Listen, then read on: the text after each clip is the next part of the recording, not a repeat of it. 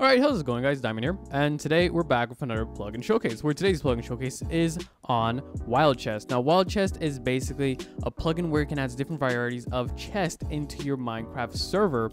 Basically meaning you can have different type of chests, such as an auto crafter, a link chest, a large chest, a sell chest, and a storage unit. If you guys want to check out the plugin for yourself, you can check it out in the description down below.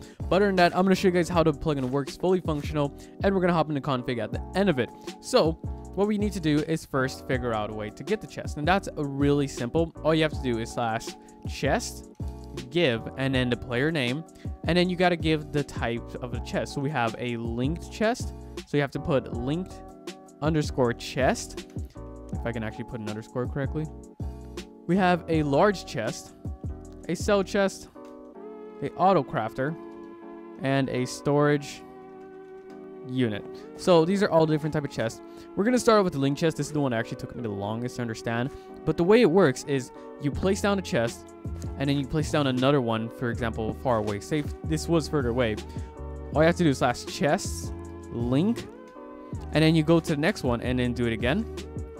And then once you open it, as you can see, it's even opening the other one, which is pretty epic. Meaning, if I put anything in here, it'll come over here. So only work between these two. So this is a really nice simple way if you want to, for example, set up a mob farm or anything like that and you want to put a hopper into one chest, link it all the way down to another one and then link these two and continue from there. It's really that simple. But yeah, we also have the large chest and basically this one's pretty self-explanatory. If we take a look into a normal chest, you can see right here, it has three rows with nine. But and then if you put another one, this becomes a large chest with six rows of nine. Meaning, this one right here has a full six rows, being only one. Meaning you will save both space and resources. So this is a really nice. I love how there's different type of chests and they're all not exactly the same. Now a sell chest is a bit different and it works in a different matter. Say for example you have a skyblock server or faction server with a mob farm and it would be iron golems because that's the most common thing. And you put a lot of iron in there or even gold for example now, the way it works is it doesn't sell automatically straight away. After a certain amount of period, I believe, which is 10 minutes, do correct me on this if I am wrong, but a certain amount of minutes, and it'll automatically sell all of it. So all we really gotta do is leave it in there, and then after a while, it will inform a message that we have sold that unit. So basically, let's go to the next one, which is the auto crafter. So all we gotta do is place it down, and in the configuration, it is set up that it will craft a golden ink. All you really need to craft golden ingots in Minecraft is golden nuggets. You can change whatever you want and allow it on the server to craft. So I'm gonna go ahead and place all of this here, let it close, and then open it up again. And what do you know? We got 56 golden ingots. So I, of course, can amplify this as well by making it even bigger. So say, for example, I had a gold farm. Let all that go in there.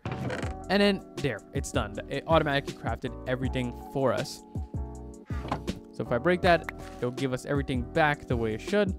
And it's really that simple. All these chests are very unique in their own way. Then we also have the storage unit. So as you can see here, the storage unit so pretty much the description for the storage unit is chest in the mode will have a limited amount of storage, but only one specific item. So pretty much means I can fill it up with any type of item that I want, but it's only ever gonna be that one item.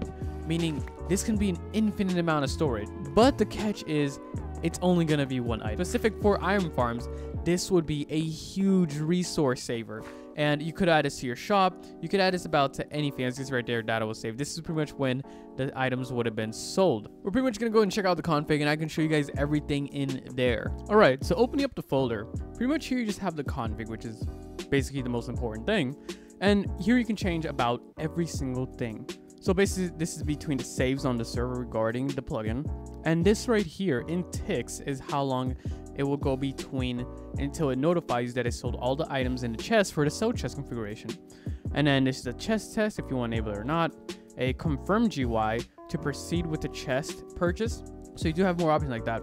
And even sell chest commands. So it will run a command towards a player if they after it's sold. If you're not using Shop GUI or, Essentials, you can also add your own prices right here.